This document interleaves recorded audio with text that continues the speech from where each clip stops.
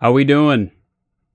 My name is Dustin Like the Chore, and I will be creating content on YouTube for uh, the community to see.